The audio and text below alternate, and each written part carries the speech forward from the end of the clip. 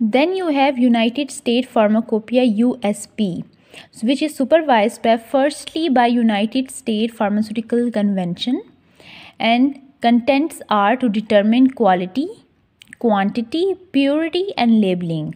Labeling method अगर आपको देखना है standard method of labeling then you see United States Pharmacopoeia USP. Okay.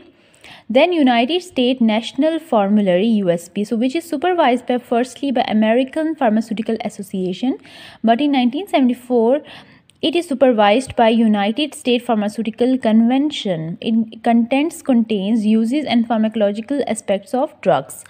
Then then you have non-official books. Non-official books वो books होती हैं जो आपके लोकली बनती हैं, ठीक है? लोकली आपका कोई सुपरवाइज़र होगा लोकली कोई डॉक्टर होगा लोकली जो बनाएँगे लोग, वो नॉन ऑफिशियल बुक्स होंगी, वो गवर्नमेंट एजेंसीज़ नहीं बनाती, ठीक है? गवर्नमेंट के मुताबिक वो नहीं होती बट हम नॉन ऑफिशियल बुक्स को भी कंसल्ट करते हैं which is the Remington pharmaceutical science Remington pharmaceutical science एक बुक होती है, जिसकी वॉल्यूम वन एंड टू मिलती है, बहुत बड़ी बुक्स होती हैं। वो आपकी फ़िज़िकल फार्मेसी की आपकी स्टैंडर्ड बुक वही है। लेकिन आप लोग उससे कंसल्ट नहीं कर रहे। लेकिन आपने अगर आपको पढ़ना है फार्मास्यूटिक्स पढ़नी है तो आपने रिमिंगटन पढ़ना है। जो मैं आपको ये पढ़ा रही हूँ, ये मैं आपको रिमिंगटन फार्मास्यूटिकल साइंस में से पढ़ा रही हूँ। ये जितने भी मैं नोट्स आपको दूँगी, वो रिमिंगटन के नोट्स होंगे। ठीक है? Book that have detail about the pharmaceutical preparation then applied in clinical pharmacology by Katzung all pharmacological aspects Katzung जो है वो फार्माकोलॉजी की बुक है, ठीक है? फार्मास्यूटिक्स की रिमिंगटन है और फार्माकोलॉजी जो आप आगे पढ़ेंगे वो कैटजन है। Then tutorial pharmacy which contains the knowledge about physical pharmacy आपका जो ये सब्जेक्ट है, ये आपका फ़िज़िकल फार्मेसी सब्जेक्ट है। फार्मास्यूटिक्स है मेन फार्मास्यूटिक्स देन फार्मास्यूटिक्स की आप एक ब्रांच पढ़ रहे हैं जो कि फ़िज़िकल फार्मेसी है। तो आपका ये फ़िज़िकल फार्मेसी आ गया आप जो आगे पढ़ेंगे तो आपकी डिफरेंट ब्रांचेज आएँगी। आपने फिर इंडस्ट्रियल इंडस्ट्रियल पढ़नी है इंडस्ट्रियल फार्मेसी पढ़नी है, जो कि जो फार्मास्यूटिक्स में ही आ जाती है, ठीक है? तो इस तरह आप आगे पढ़ते रहेंगे। ट्यूटोरियल फार्मेसी में नॉलेज होगा अबाउट फ़िज़िकल फार्मेसी का। There are many other examples of non-official books like Merck Index United States Dispensatory. The books other than the official drug compendia are used as secondary source of reference for drugs known as non-official compendia. ये इसकी definition आ जाएगी आपने ये पहले definition लिखनी है non-official compendia या non-official books. Compendia books को ही कहेंगे Then you have to describe it. Official compendia includes the British Pharmacopoeia official में क्या क्या होगा? ब्रिटिश फार्माकोपिया है। ब्रिटिश फार्मास्यूटिकल कोडेक्स है। United State Pharmacopoeia Pakistan Pharmacopoeia European Pharmacopoeia and British National Formulary ये सिक्स बुक्स आपने consult करनी है, ठीक है? एंड ये नॉन ऑफिशियल बुक्स की एग्जाम्पल्स हैं। Remington pharmaceutical science book that have detail about the pharmaceutical preparation ये सारी जो हैं, ये आपकी नॉन ऑफिशियल बुक्स की एग्जाम्पल्स हैं।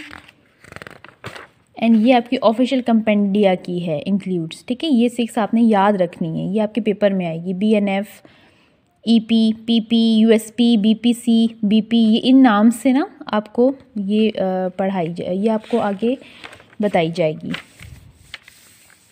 Then you have another topic which is the bowl of Hygieia symbols and items representing pharmacy practice pharmacy practice में आपको कौन से सैम्बल्स यूज़ होंगे? ये आपका एक मोटर एंड पैसल है, वो घर में जो आप यूज़ करते हैं किचन में तो ये मोटर एंड पैसल होता है। Then you have R R X symbol which is a prescription symbol prescription जब डॉक्टर प्रिस्क्राइब करते हैं तो आर एक्स सैम्बल होता है, ठीक है? आपके पास वो छोटे छोटे नोट्स होते हैं, यू न्यू बुक्स मिलती हैं। आपने कभी कोई प्रिस्क्रिप्शन पढ़ी हो तो आपके सबसे ऊपर ये आर एक्स का सैम्बल होता है। इसका मीन मतलब होता है, ये जो सैम्बल होगा, इसका मतलब होगा प्रिस्क्रिप्शन इसका मतलब होगा मोटल एंड पेसल ठीक है? इसमें आप सारी ड्रग्स बनाते हैं। फार्मेसी की सारी ड्रग्स मोटल एंड पेसल में बनती है, वो ये वाली हैं। देन ये अगर सैम्बल आएगा तो इसका मतलब होता है प्रिस्क्रिप्शन ये वाला सैम्बल आएगा तो इसका मतलब होता है बाउल ऑफ़ हाइजिया जो कि मोस्ट रिकग्नाइज सैम्बल है। फार्मेसी में। इसमें क्या होता है, ये एक बाउल है, ये बाउल है। इसके इर्द गिर्द स्नेक ने राउंड उसने अपने आप को कॉइल बनाया हुआ है, ठीक है? The bowl with snake coiled around is called bowl of Hygieia with the serpent of Epidaurus ये एपीड्यूरस का सरपेंट है, ये सांप को सरपेंट कह रहे हैं और ये बाउल है। इस बाउल में सांप का जो होगा वो पॉइजन होगा। ये जो पॉइज़न होता है यही हम एज अ ड्रग यूज़ करते हैं। ये पुराने ज़माने में बताया गया था कि जो सांप होता है, वो अपना पॉइज़न इस बाउल में छोड़ डालता है और ये बाउल में जो है, वो ड्रग होता है। तभी जो थे वो हमारे पहले पुराने साइंटिस्ट थे, उन्होंने कहा था every drug is poison only dose differentiated just dose जो है, वो डिफ्रेंशिएट करती है, वरना हर ड्रग पॉइजन होती है। ठीक है, वो इसी के मुताबिक है। आपके फॉर्मेसी में जितने भी सैम्बल्स होंगे, वो इसी तरह यूज़ किए जाएँगे। Hygeia was Asclepius' daughter and Greek goddesses of health. Her symbol was serpent drinking from a bowl. Then Codices. Codices का the symbol of two snakes दो सांप हैं, ये एक ये वाला और एक ये टू स्नैक्स हैं, जो कि एक स्टाफ के ऊपर उसने, उन्होंने कॉयल किया हुआ है, ठीक है अपने आप को मोड़ा हुआ है the staff depicted with wings on that जो ये विंग्स हैं रोमन कहते हैं कि ये मरकरी से बने हुए विंग्स ये विंग्स जो बने हुए हैं मरकरी से बने हुए हैं और जो हमारे पास ग्रीक हैं, वो कहते हैं हीम के बने हुए हैं which is the messenger of god and also god of commerce the Greek root of word caduceus means caduceus का मतलब ग्रीक लोगों ने कहा था कि हेरल्ड्स वैंड होता है इसका मतलब ठीक है? According to Greek mythology Hygieia was the goddess of health cleanliness and sanitation मैं आपको इसकी स्टोरी बताऊँगी नेक्स्ट पेज पे।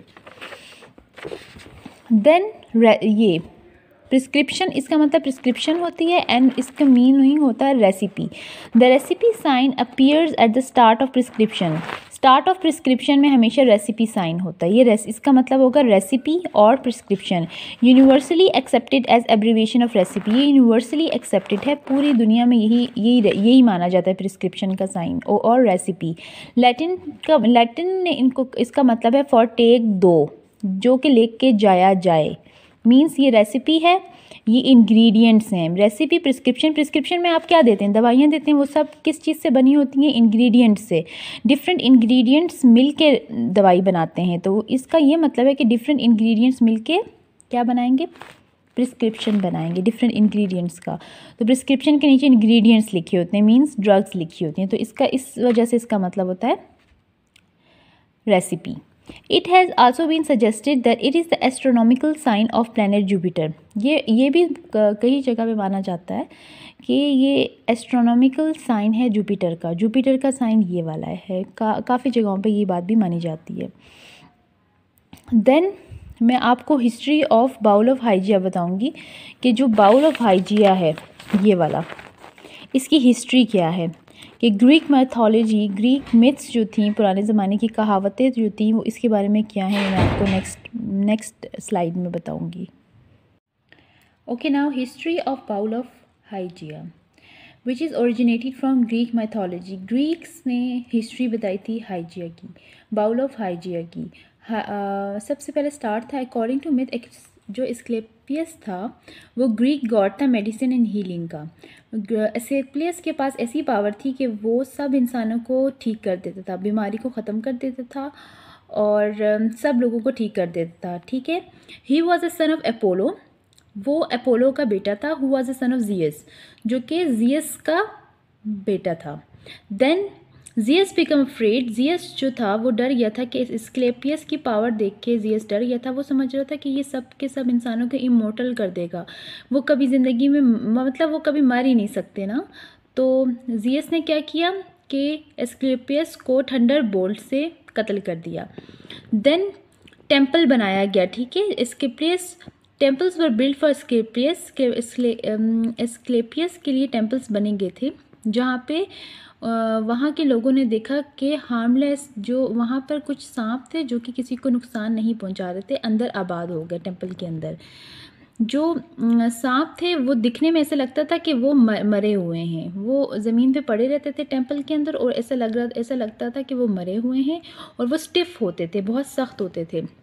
लेकिन जब उन्हें उठा के नीचे फेंका जाता था तो वो मूवमेंट शो करते थे। जैसे सांप की मूवमेंट होती है ना जिग जैग तो वो जिग जैग सांप की तरह मूव करके चले जाते थे। मीन्स वो मरे हुए नहीं थे। तो लोगों ने सोचा कि ये स्क्लेपियस की हीलिंग पावर की वजह से कि उन्होंने सांप, मरे हुए सांपों को ज़िंदगी दे दी है। स्क्लेपियस की अभी भी पावर इस टेंपल के अंदर मौजूद है और इस टेंपल में उसकी ऐसी पावर है कि वहाँ पे जो जितने भी सांप हैं वो ज़िंदा कर दिए स्क्लेपियस ने। लेकिन स्क्लेपियस तो मर गया, लेकिन वो अपनी पावर यहाँ इस टेंपल के अंदर छोड़ के चला गया है।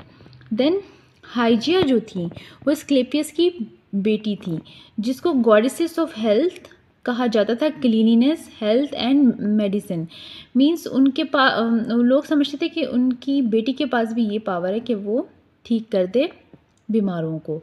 तो उन्होंने जब देखा तो उन्होंने क्या किया? उन्होंने उन सांपों को वहीं टेंपल के अंदर ही रखा।